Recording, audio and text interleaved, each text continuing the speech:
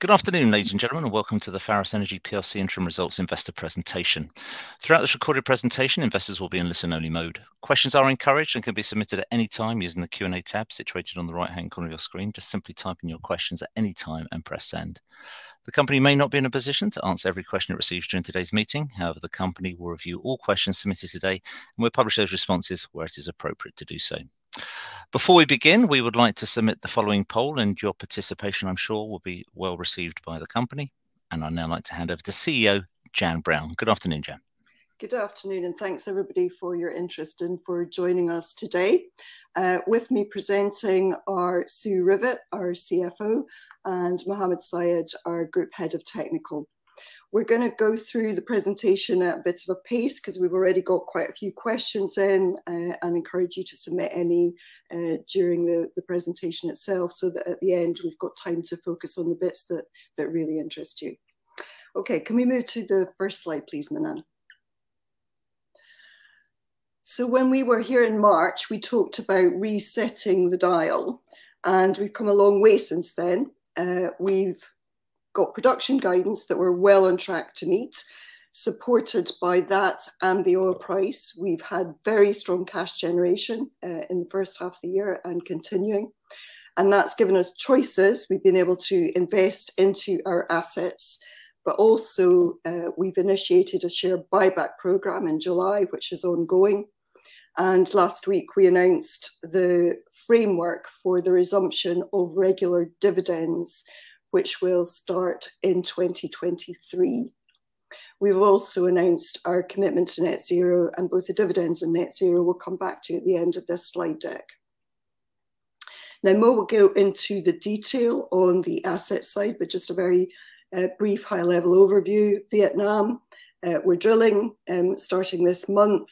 The objectives of the drilling program are really about maintaining production levels, but when you've got payback periods on drilling of about six to seven months on TGT and netbacks for the Vietnam production uh, of over $50 a barrel uh, at $100 oil, this is production well worth maintaining.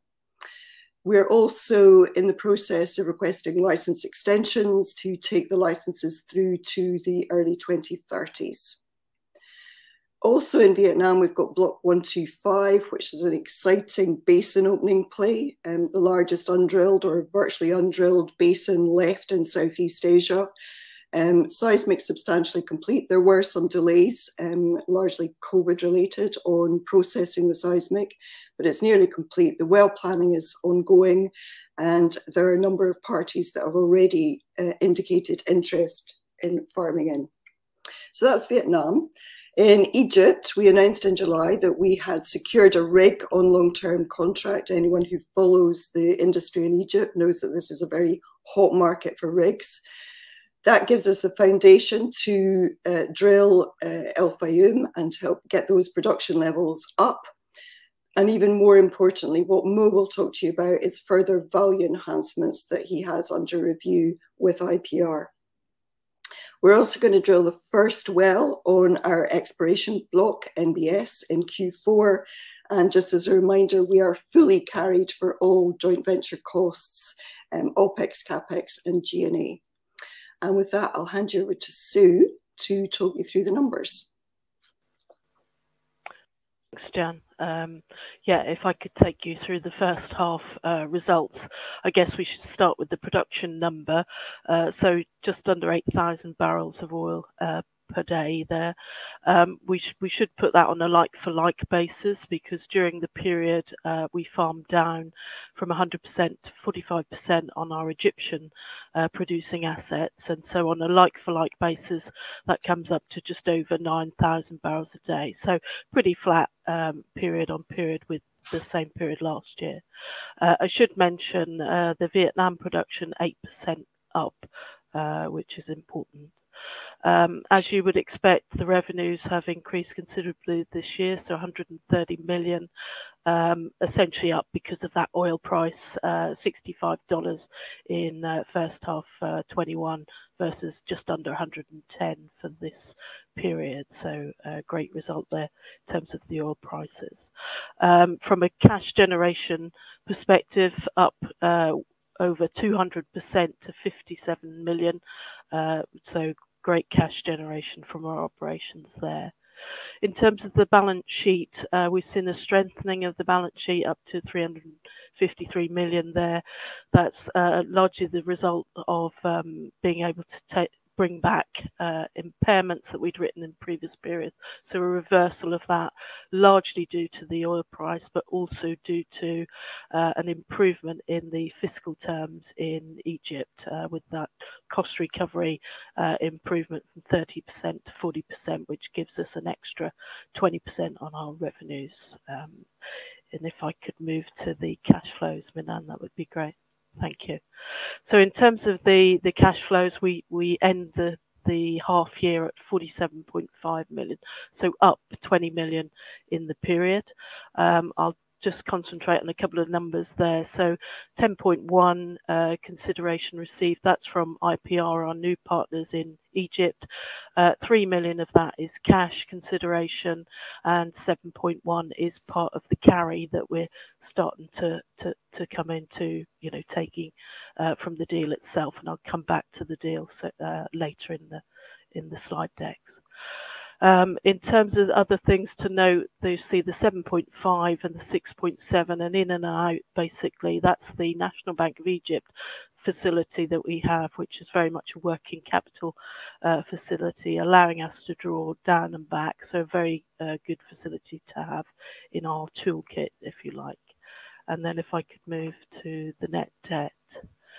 Uh, so concentrating on uh, the four columns there, you'll see operating cash flow 27.6. That number is important as we move forward, and Jann will talk about that as part of the dividend um, position that we've announced to, uh, today. Uh, so 76 million coming in there from operations. Uh, unfortunately, taxes. We all have to pay our taxes, so 27 million going out there to, to the government for those. Uh, also important that I draw your attention to the 18.9, which is an adverse movement on the working capital uh, position. Um, of note is uh, the Egyptian receivables, which is uh, 14.9 at the end of the period. That was uh, 5 at uh, December. That increase is largely a factor of a catch up invoice that we were able to put into EGPC for that improvement in the fiscal term. So, so you know, partly to do with that, but also we'll also pick up the fact that in country there is a limited uh, US dollar uh, position, and, and therefore that was is impacting uh, the receivable position as well. But I'll pick up on that later on as we move through.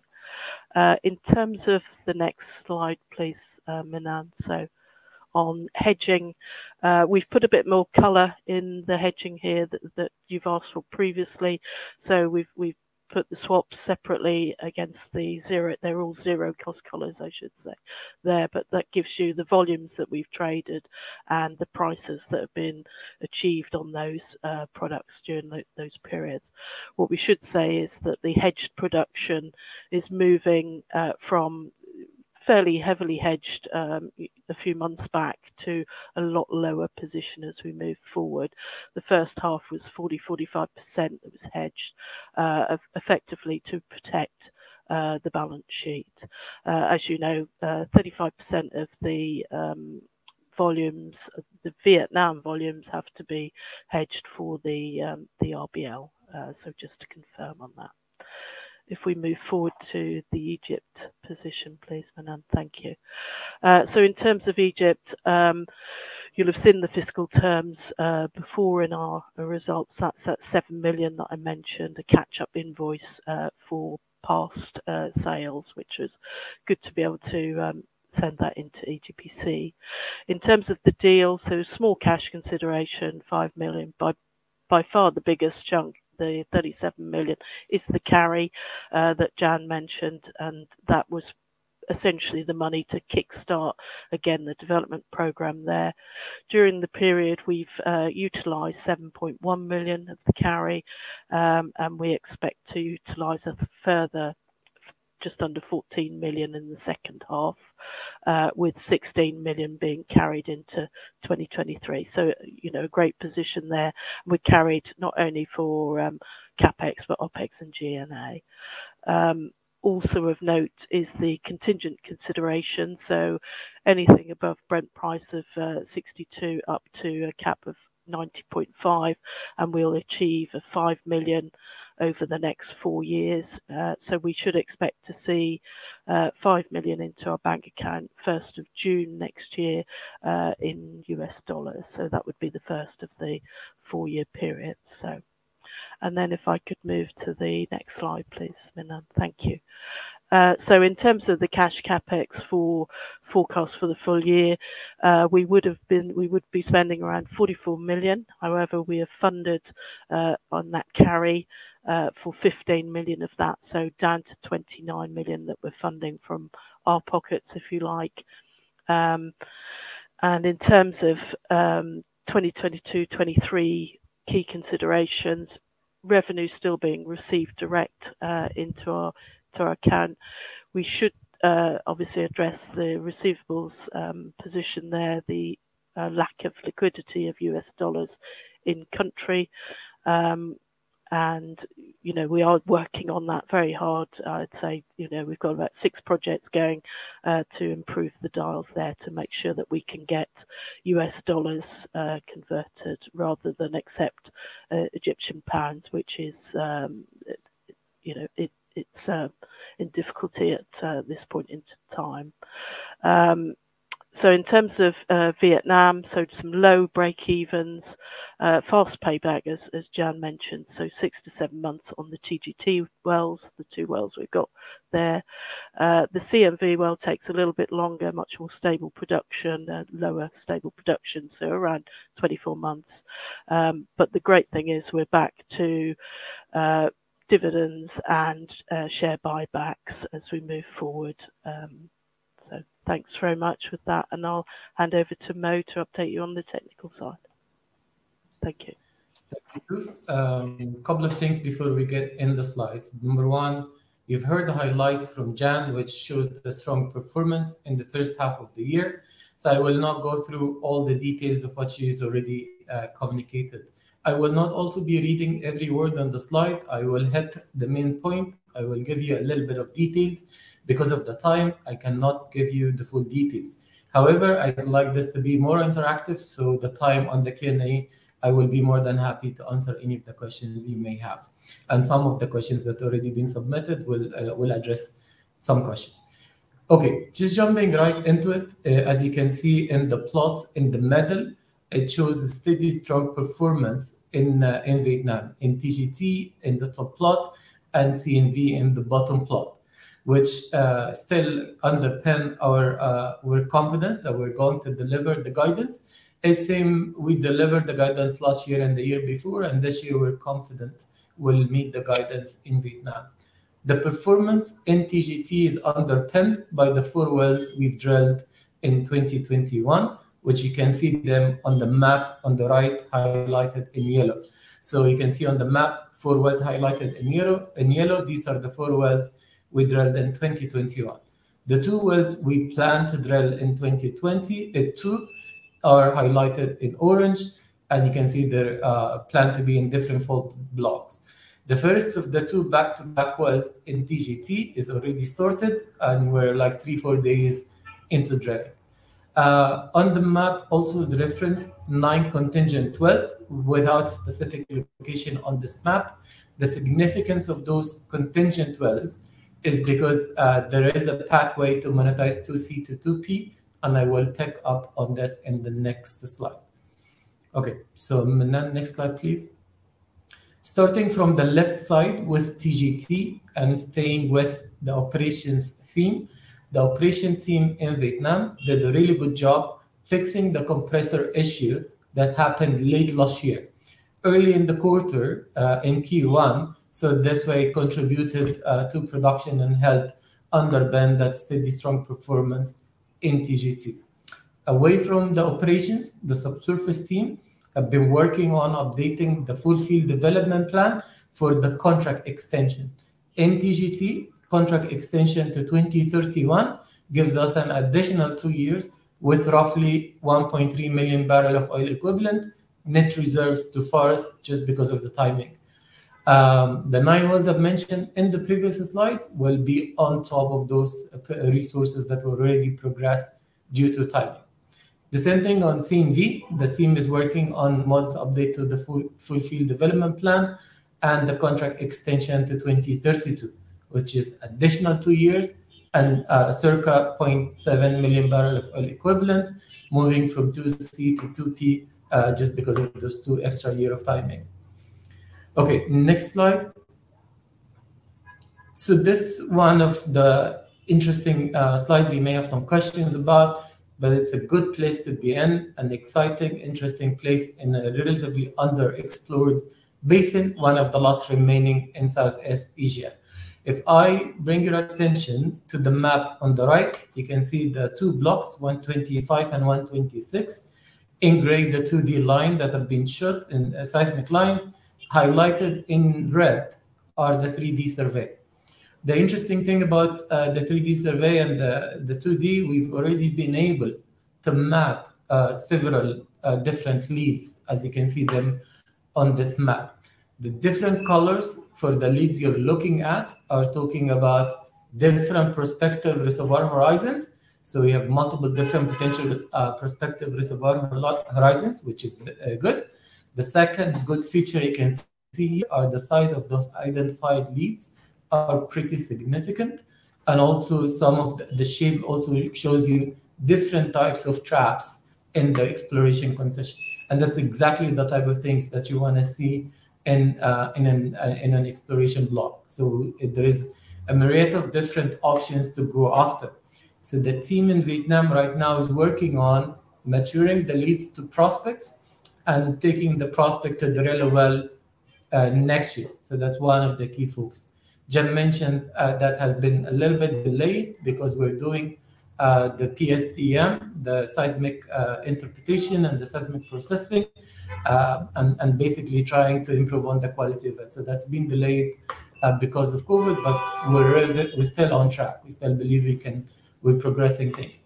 First time uh, we presented publicly was in June. Uh, our exploration manager in Vietnam presented about 125, 126 block in Asia Pac conference and that created a lot of attention. So we've been seeing some encouraging interest from a potential Farmanese partners. Any of them uh, would be uh, a, a, partner that we're happy with. Uh, so the focus so far, progress leads to prospects to drilling, uh, prepare to uh, and engage with those interested parties for a farm-out process. So those are the key two focus. I, I can't say too much about this right now uh, because the work is still ongoing but it's a good place to be and uh, having something that potentially significant. Going on to the last slide on Vietnam, the important part about this, as Jann mentioned, what I'd like to share with you here is yes, we 100% focus on the developed resource base.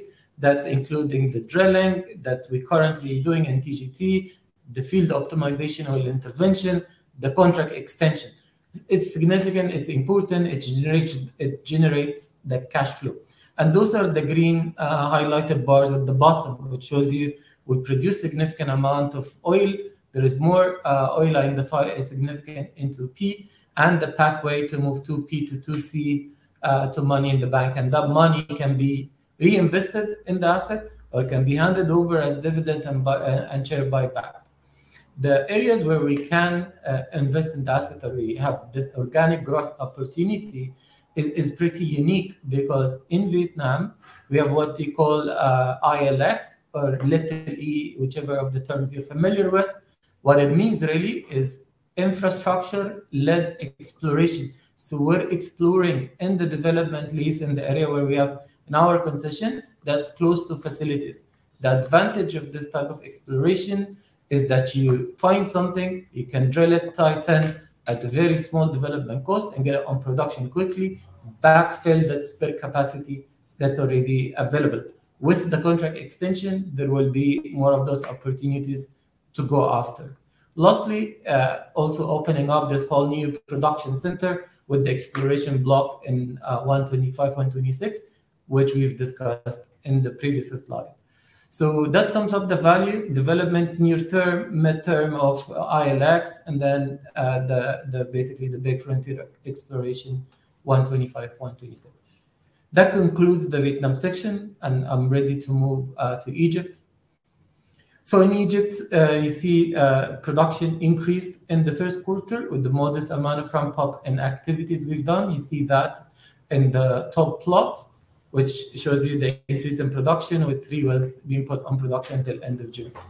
Uh, the interesting thing about Egypt, and you just need to remember um, that we, the bottom plot, which shows you the history of the production of El Fayum since we took over as Pharos. So the deal closed in April of 2019.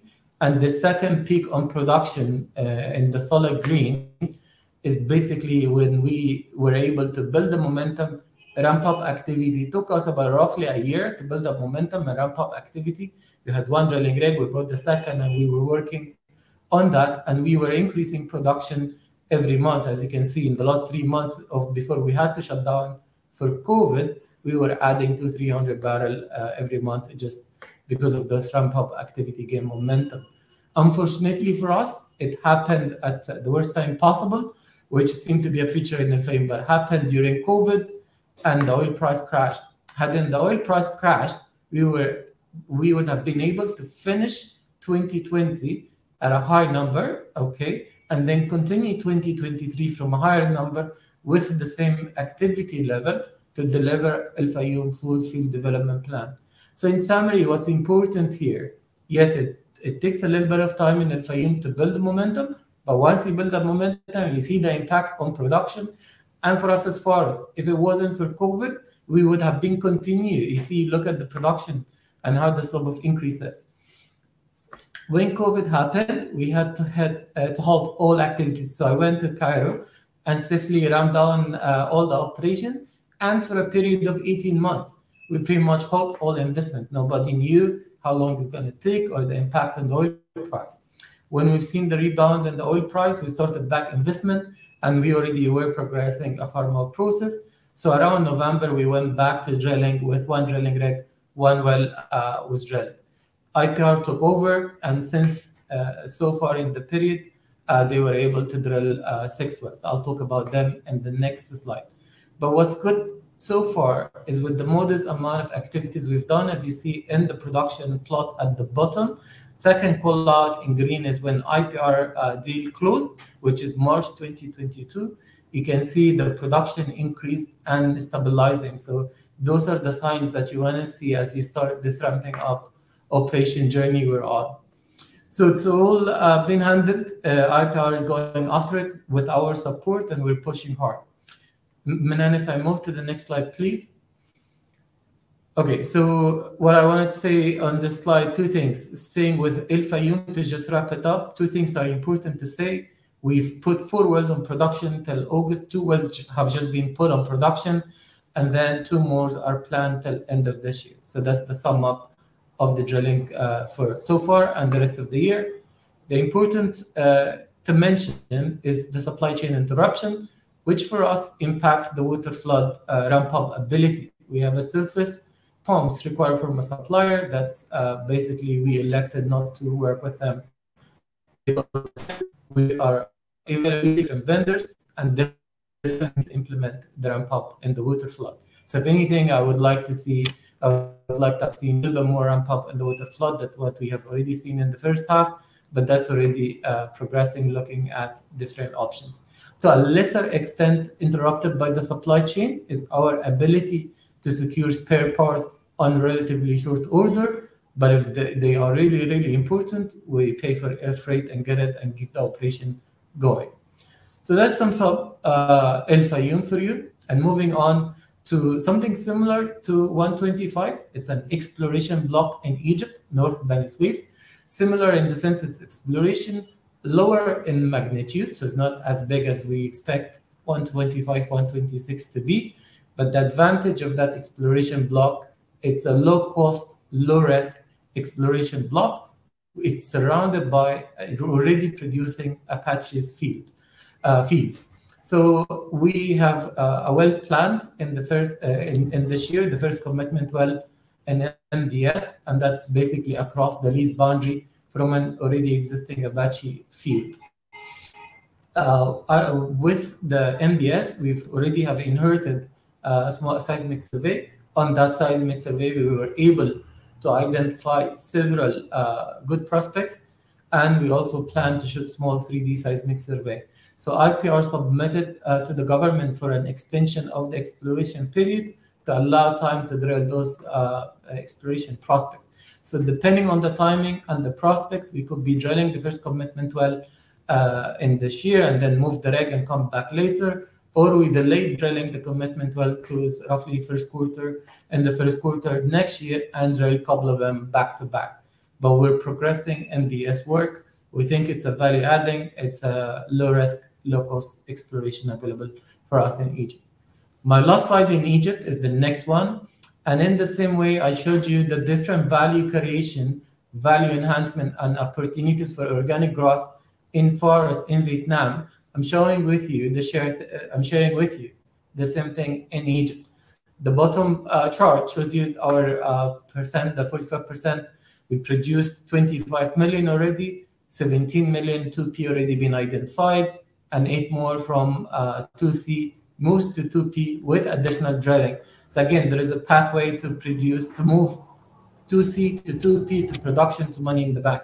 That money, like I said, dividends or otherwise we can invest or both invest in the asset. The ILX exploration opportunities in Egypt are pretty significant. We have conventional and unconventional. The conventional part is split into two different components. One component is drill the same structure we have further away in the development lease. So those are uh, the shallow reservoirs were produced where we produce from today. And then a deeper, more prolific reservoirs they are producing in the Western Desert elsewhere, but not yet in El Fayum. So drilling deeper around 12 to 14,000 feet for those deeper reservoir, which will have uh, a potential big, uh, big potential on the El Fayum production. Lastly, uh, ARF is a significant unconventional resources that's been recognized by us and others. We've done studies on it with US experts. It's equivalent analogous of the Eagle Ford Shale. So it's an important resource, the in place uh, above 1 billion barrel in place. So at 3% recovery is still significant. And whether we do it ourselves or somebody does it for us is something that we continue to evaluate and pursue. And lastly, NBS, which is again opening up a whole new production center from an exploration block that we've discussed in the previous slide. So I won't go through it in more details. That's pretty much wrap up my uh, Vietnam Egypt section operation and the different value enhancement, and I give it back uh, to Jann. Great, thank you. So a couple of slides on ESG, one on the dividend, and then one slide to wrap up, and, and we'll move to Q&A. This is the usual metrics that you would expect from um, any E&P company um, that takes their position seriously and, and tries to produce responsibly. Uh, the metrics are there transparently for all to see. The next slide is a bit of a departure for us. We have announced a commitment to net zero on our scope one and two emissions by 2050. Now, 2050 is a sort of entry level date for making this commitment. Uh, so we will do what we can to try to accelerate that. And to support those efforts, we've announced the establishment of an emissions management fund so for every barrel of oil sold where the oil price is above $75, we will put 25 cents aside into this fund, and that will provide the capital to support whatever initiatives we identify to further reduce emissions. My sense is that in the early years, this is likely to be on operational efficiencies and improvements, but you never know, technology and technological change moves quite quickly. And as part of this commitment, we'll produce a more detailed roadmap sometime in 2023. Okay, next slide, please. So shareholder returns, um, we've had the confidence with the cash flow generation to resume returns, first with the buyback started in July. Uh, we've used about half of that, just over half. And we've also announced the expectation of returning to regular dividends with a clear policy. Distributions will be based on operating cash flow, and that metric's been chosen because it takes into account oil price, tax, which is the main government take in Vietnam, unlike Egypt, where it's a production share of uh, the revenue line. And it also takes into account working capital movements. The minimum distribution uh, is going to be 10% of our operating cash flow. And we expect to declare the final dividend for 2022 um, based on the 2022 operating cash flow uh, approve that by shareholders at the 2023 AGM and make the, the full payment after that. From 2023 onwards, we'll move to a payment in two instalments, an interim and a final. Happy to take questions on that later if there are any. So in conclusion, you've heard from Sue uh, about the cash flow engine that is working well. You've heard from Mo about the wide range of organic growth opportunities we've got in the pipeline. We've got developments in both Vietnam and Egypt. Egypt fully carried this year and into next, and of course the enhanced license terms, uh, which have added about 10 million to the top line um, on our share so far. And then in Egypt and in Vietnam, we've got exploration, though very different types of plays. So lots of growth to offer, organic growth already in the portfolio, and back to a focus on shareholders and cash returns with both the share buyback and regular dividends. So we're targeting both the yield and the growth sides. And the growth side, we believe we can do organically from our portfolio for at least the next year to 18 months. And with that, we will finish the formal presentation and we'll move over to Q&A. That's great, Jann um, and Sue and Mohammed. Thank you very much for updating investors this afternoon. Ladies and gentlemen, please do continue to submit your questions using the Q&A tab situated on the right-hand corner of the screen. But just while the team take a few moments to review your questions submitted already, I'd like to remind you that a recording of this presentation, along with a copy of the slides and the published Q&A, will be accessible via your Investor Meet company dashboard. Um, thank you to everybody for their questions this afternoon, and thank you to those that pre-submitted uh, their question in advance. And if I may, I'd just like to hand back to Georgia, who will moderate the Q&A. Uh, if I could ask you please to read out the questions, and um, obviously I'll pick up from you at the end. Thanks, Mark. Uh, thank you everyone for your questions. I will now run through the pre-submitted questions we have received over the last few days before turning to the live Q&A. Uh, we received a number of similar questions, which we have grouped together for ease. So turning to the first question on strategy, are you pursuing an M&A strategy? Would you consider merging with a similar size or larger peer to provide economies of scale? And I'll hand that over to Jann. Okay, thanks for that. So look, in 2020, we had to put our balance sheet into intensive care, and we've worked really hard to get that back into shape, whilst at the same time preserving as much of the value, the organic growth potential in the portfolio uh, as we possibly could. So we're now at a position where, as I said, the production levels are solid, the cash flow generation engine is working, and that's given us the confidence to fix the yield side of the equity story, the um, buybacks, and now the clear dividend policy. On the growth side, um, retaining as much opportunity as we could, that's going to keep us occupied, as I said, for the next 12 to 18 months. And in doing that, it could be to look to prove up asset values and monetize and, and move on. Uh, and that's part of the tried and tested route for both this company and us as a management team. And then if you come to specific question about where does M&A fit into um, all of those strategic elements, we don't rule it out, um, but we are focused on growth in value, not growth in scale. And if you take the economies of scale points, that would be, in our situation, almost exclusively uh, G&A uh, allocation over a broader asset base. And G&A in our case, let's face it, is just a cost of being listed, premium listed, and being a responsible operator and a good corporate citizen. And if we were looking at any deal, we would take, we would factor in um, those G&A reductions as part of the overall equation of whether the deal was a growth in value rather than just a growth in scale. So although we keep an eye on opportunities and we have run the slide rule over some, uh, we are not chasing deals uh, for their own sake or for scale's sake.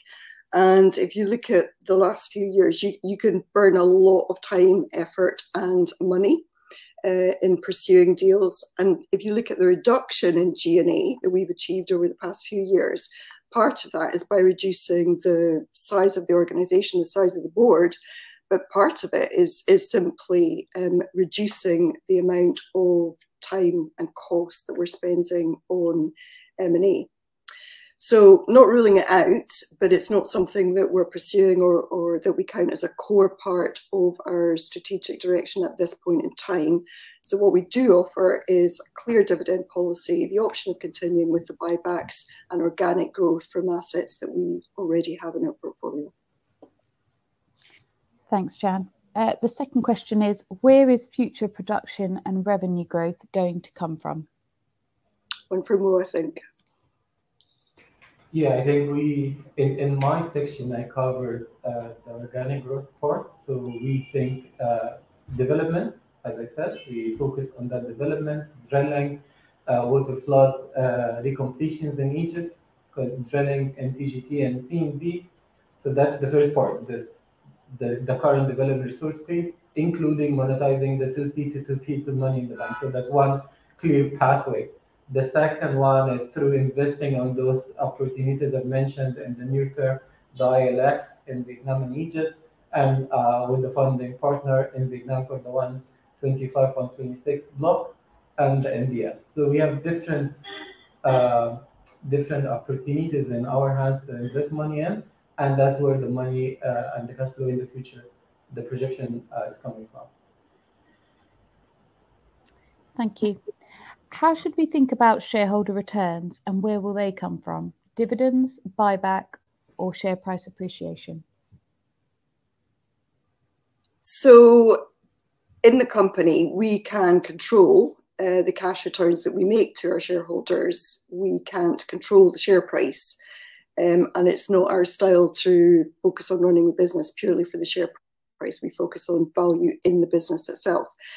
So, focused on making the right investments in our assets to generate value, particularly in uh, terms of near term cash flow. Um, but we can't guarantee that that converts into share price appreciation. So we can control the cash returns. We have the ongoing buyback with the option to continue that. Um, it'll probably take about six months before we're through that committed three million. And that's why we've announced the very clear framework for dividends from 2023 onwards. Georgia, can I can I um, divert slightly because there's quite an interesting um, left field question come in on the current one. Um, so just to address that before we go on to the rest of the pre-submitted, um, the question is from Ash K, and it is, are Pharos planning to head back to working full-time from office? Um, and everybody who knows me knows that I'm quite passionate about this, so I, I do really want to answer this one. And the answer is, it, it's very much employee-led. We trust our employees uh, we are clear with them what we want them to deliver and by when. And then, with a few exceptions where everybody needs to be together or small teams need to be together, it's up to them how and when uh, they deliver that. Some of our employees uh, have elected to be back in an office full time, and we do have a small office space for them. Some much prefer the flexibility of working from home and to me, this is an opportunity. And I know the pandemic accelerated it, but it's not about the pandemic. It's about the technological revolution following on the industrial revolution and the agricultural revolution, each of which has changed working practices. And if we don't explore different ways of working, then I think we will have missed a real opportunity. So the answer is it's employee led. So at this stage, no, but you know, could could all change in six months' time. Sorry, Georgia, back to the questions. Thanks, Jann. Um, turning to the questions we received on Egypt, uh, the first one was As of the 1st of July, Pharos has used approximately 20% of the free carry provided by IPR, but production in Egypt is down. Can you explain why and remind us why you chose to partner with IPR? What do they bring? Okay, so um, my first degree was history, so forgive me if I go back uh, a couple of years once again talked about being in intensive care in 2020. We, we were. Uh, we needed to take a number of remedial steps, and the farm down was one of them, a really important one because we needed capital to develop the asset, um, but we also wanted to retain uh, some of the value that was inherent in that asset. So we went through the process, um, well run process, and IPR made us the best offer. Uh, it was not only the best offer on the table, it was good enough. Shareholders approved it uh, at the time. And IPR as a partner have proved to be uh, a company that listens and is not just squeezing us out because we happen to be non operated. So if you come to the production, one of the biggest lessons, probably the biggest lessons that we learned about this asset when we bought it in 2019 is that after a period of low investment, it takes a long time to ramp up. Um, we acquired it in April 19, got control. It was April 2020, a year before we got the production levels back up. And as Mo said earlier, you know, if the oil price crash hadn't happened, who knows what trajectory that would have been on. It didn't, so there's no point in crying over that. Um, so that pattern of ramp up um, is what we're seeing right now do we wish that there were more rigs available to throw more at it? Yeah, of course we do. But again, there's no point in crying about it. You've just got to take what there is on the market and move on. And, you know, Mo has some great stories to tell about how proactive IPR has been uh, in securing the rig that we've got. Um, and, you know, there, there are a lot of other companies who would be delighted to have this rig. So we talked in March about the supply chain constraints, and you know they're they're absolutely there uh, in the rig market. Uh, we also factored that into the guidance that we gave to the market in May. We're on track to meet those um, and uh, to deliver what we said was possible um, given these market constraints. And getting right back to the question, what IPR brings is capital, broad experience in Egypt, and a partnership that is collaborative and willing to listen, particularly to Mo, who knows this asset better than anyone. And we really value that. Thank you. Sure. How will the company fund its 45% share of the Egypt venture after the remaining carry has been fully used up next summer? Okay, perhaps I can take that. Um, yeah, the, the great thing, obviously, as we move forward, although we're in a carry period, which is brilliant, as we move forward, uh, Egypt will actually fund itself. So there should be no issues there, um, particularly at these prices. Um, so Thank you. Turning to Vietnam, last week the company said that in Vietnam, further development drilling on both TGT and CNV is due to commence imminently, with the rig on location and preparing to spud. When is the drilling of the two wells on TGT due to be completed, and what is the expected impact on the gross barrels of oil per day? I'll take that. Um, so the drilling started, so we're confirming, and we expect it to finish by mid November, that's the expected time frame.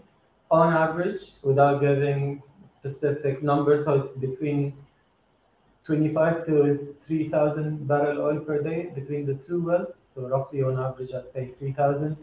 Uh, but they come in at different time, and you can see them uh, going on the line. So that's the answer to this particular question. But while I'm at it, there was another question in the ones that have been asked right now just need the question was asked by Sam S. If Vietnam is such a high net back, why uh, we're not we're only drilling two to three wells? And and the reason really in nutshell is because the current contract extension, the current contract finishes uh, initially before last year it was finishing in 2024. Last year, we were granted two years extension, which makes it finish in 2026. Those uh, wells in Vietnam, they're high net back. So continue that investment and the contract extension we're working on will enable the further drilling. So that's it. Thank you. Uh, so the next question on Vietnam, could you share with us the late could you share with us the latest with regards to the license situation at the TGT field? Um, if a license extension to year 2031 is granted, can we expect more drilling in the future to support the production plateau? Okay, so uh, I'll continue the operations question. So first, let's answer them backward. So the first part is do you expect with the license extension additional drilling? Yes, that's one of the things I've mentioned in my slides uh, in the slide section I'm just answering the previous question. The work ongoing right now for the contract extension to 2031 uh, is basically include that update to the full field development plan, which identify some, uh, identifying some of those future uh, well locations. So all of which will help support the production platform. Thank you. If the lease extension at TGT is granted till year 2031, is the design life of the leased FPSO sufficient to remain on the field till then, as it has now been operating at the TGT field since 2011? Uh, our the boat uh, owners, Bumi Armada, they tell us it is.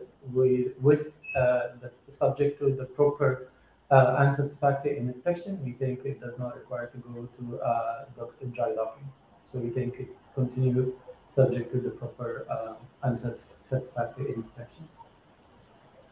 Um, and the last one on Vietnam of the pre-submitted questions is, as the FPSO lease contract ends in 2024, is the company planning for shorter one-year optional extensions beyond that or a longer period? Um, for example, seven years extension to see out the contract till 2031? Okay, uh, we will do the contract extension accordingly. Uh, I think the question mentioned 2024, which I corrected uh, our current contract expiry is 2026 in TGT because we were granted two years last year. So that's already uh, extending the contract. And um, yes, with the contract, basically with Bumi Armada will extend to that period. I've answered in the previous one to 2031. They're telling us, yes, we will do the proper inspection and the certification to extend it to 2031 as the contract extends. Thanks. And moving over to some more general questions now. Um, Pharos has great assets and one of the best management teams in the sector. Why is that not reflected in the share price? And Jann, I think you're on mute. Mute. I wish I knew. Uh, we've been doing the rounds with our current shareholders, as you would expect after the interims. The institutional shareholders are really happy with the combination of the buyback and the dividend policy and also the net zero commitment. That's really important to them. We've got uh, quite a portion of our register in uh, high net worth shareholders. They're very happy with the dividend being resumed. They've all said that they like the transparency and the fact that we're prepared to discuss risks as well as um, as well as uh, just the positive aspects. So the current shareholder base, um, certainly institutions high net worth, um, very positive feedback from this set of results. And um, what is apparently really difficult is to attract um, new shareholders into the story. So all we can do as a management team is tell our story to as broad a range of groups of um, uh, potential shareholders as possible uh, and keep focusing on the business and the underlying health of that business. Thanks. Uh, and then the last one is why haven't any of the non execs on the board purchased any shares over the past two years? I'll hand that over to Sue. Thanks. Yeah. Um, what we have got is obviously four non executive uh, directors, all of which have shares in the company. Uh, two of them joined in 2020 and were part of the placing uh, that happened in January 21. Uh, so all of them actually hold um, shares in the company.